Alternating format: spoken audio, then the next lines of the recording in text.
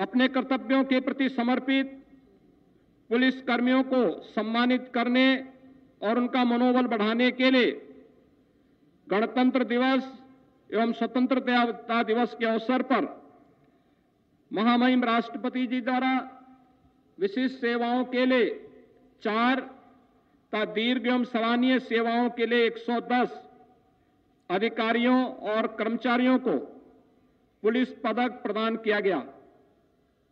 गृह मंत्रालय, भारत सरकार द्वारा 1013 पुलिस कार्मिकों को अति उत्कृष्ट सेवा पदक तथा सात सौ उनतीस कार्मिकों को उत्कृष्ट सेवा पदक से सम्मानित किया गया।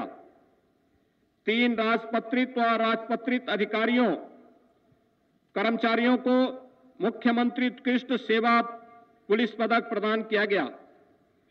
पुलिस महानिदेशक उत्तर प्रदेश द्वारा बानवे और राजपत्रित पुलिस कार्मिकों को उत्कृष्ट सेवा सम्मान चिन्ह 455 पुलिस कर्मियों को सराहनीय सेवा सम्मान चिन्ह प्रदान किया गया।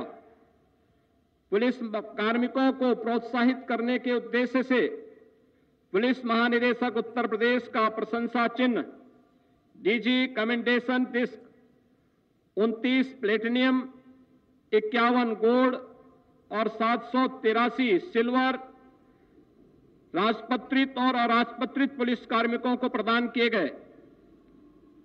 प्रदेश में कानून व्यवस्था को सुदृढ़ कर, जनमानस में सुरक्षा की भावना बलवती करना एवं अपराधियों में कानून का भय पैदा करना हमारी सरकार की प्राथमिकता है।